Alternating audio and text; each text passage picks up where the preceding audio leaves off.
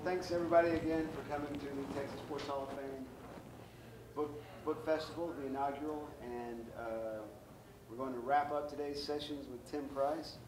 And I've got, uh, let's see, Tim is the author of two books, Texas Sports Trivia and Shooting for the Record, Adolph Toepperwein, Tom Frye, and Sharpshooting's Forgotten Controversy.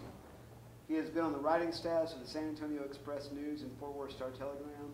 Tim's writing also has appeared New York Times, Associated Press, NBA.com, and D Magazine. He was born in Dallas and now lives in San Antonio. All right.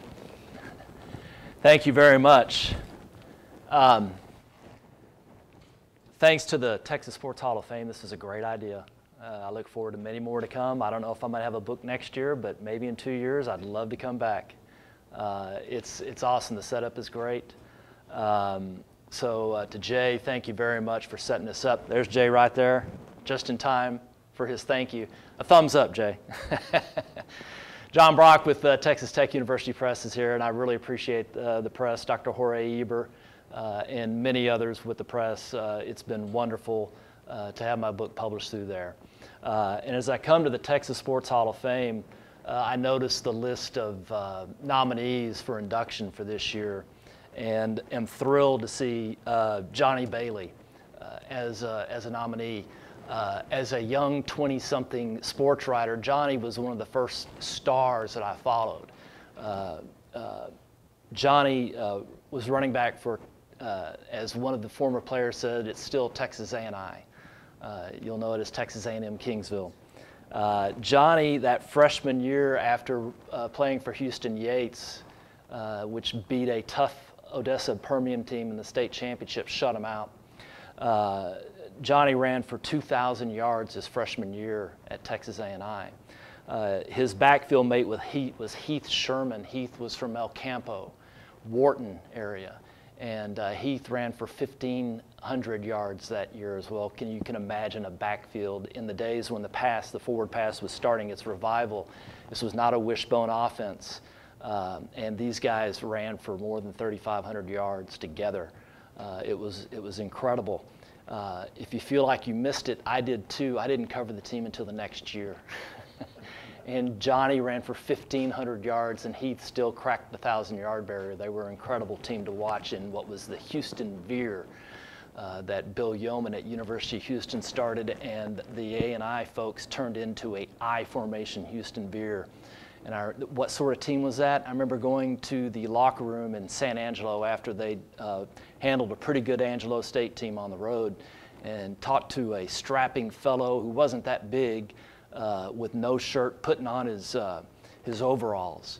His name was John Randle, And if you remember John Randle, he played for the Minnesota Vikings, and I believe he's in the NFL Hall of Fame. Uh, so that was, uh, that was quite a team, uh, an out of the way place Kingsville, Texas, to see this sort of thing. And uh, an out of the way place uh, is shooting for the record. Uh, let's see here. I've lost my, uh, my presentation.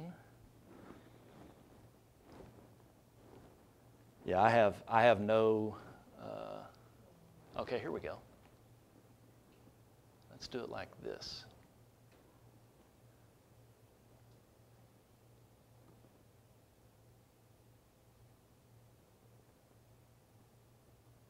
Okay. Out of the way in that you've been seeing a lot today about football, baseball, basketball, the mainstream sports, which are all great. Uh, shooting for the record is in the uh, realm of the shooting sports. Um, come on.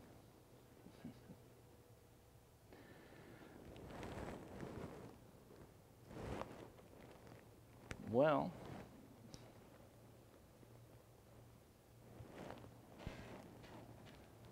I'm hopeful that it'll work.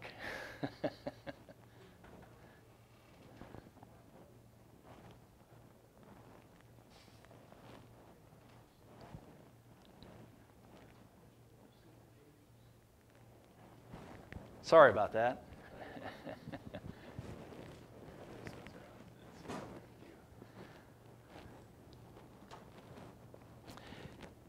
yeah, what I'll do is I'll get into the uh, basically, there are two, as the title infers, Adolf Toepperwein, or the subtitle, Adolf Toepperwein and Tom Frye relates that there are two major principles uh, in this tale.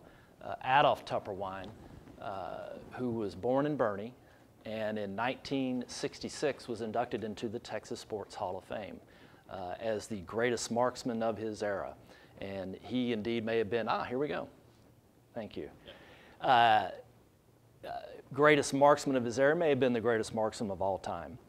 Uh, born of a, a German immigrant, he was born in Boerne and lived most of his life in San Antonio.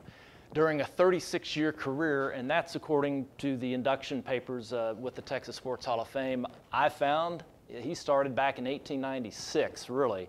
He shot, his shooting career was about 50 years. Uh, I have a video that I can show you as a 70 year old man. He was doing barrel rolls and picking up his gun and still shooting a target that had been thrown into the air.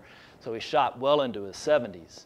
Um, he is credited with setting 14 world records. He was a sought after shooting instructor. He taught his bride Lizzie to shoot, famously known as Plinky. She broke records of Annie Oakley and was an inaugural inductee into the Trap Shooting Hall of Fame up in Ohio, the National Trap Shooting Hall of Fame. The peak of his career saw participation in the Grand American Handicap. That's uh, trap shooting's answer to the U.S. Open golf tournament. Um, that grew sixfold from 1900 to 1907. That was, that was Mr. Toepperwein's peak, really.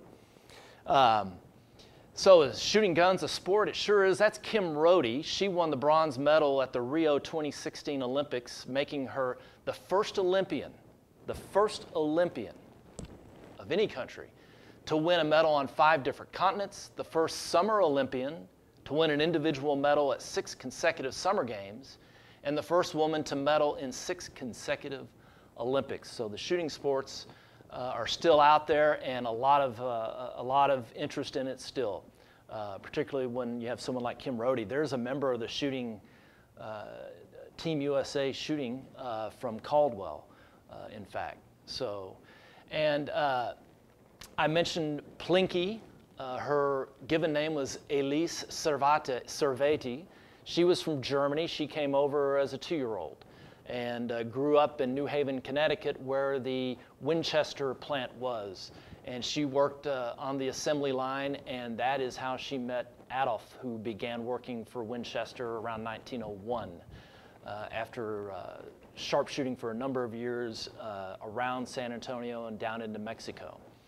Uh, she was the first woman to compete for and win a U.S. military marksmanship medal in 1906. She was in line. People thought that it was one of the bloke's girlfriend uh, uh, that was in line. And when she got to the front with a Krag Jorgensen, which weighed about nine pounds, they said, You can't shoot that thing. Uh, they were convinced otherwise. They were convinced to look at their bylaws, which said women were not restricted. Uh, so she shot and she won that military marksmanship medal uh, in 1906. Actually, it's 1903 uh, in Sea New Jersey. While competing against men, she won several state and circuit competitions, including the 1908 Texas State Shoot at Austin, obviously the first woman to do so. Uh, she was the first woman to compete in the Grand American Handicap in 1907, and by 1914 still was the only female competitor in a field of 500 men. In 1916, she broke a man's endurance and accuracy shooting record for a 12 gauge shotgun when she hit 1,952 clay targets from 2,000 attempts all in less than five and a half hours, and that was in 1916 in Montgomery, Alabama.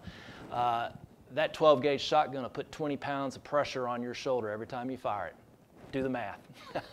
she had a bruised up shoulder. Halfway through it, she had a, a, a blister on her hand.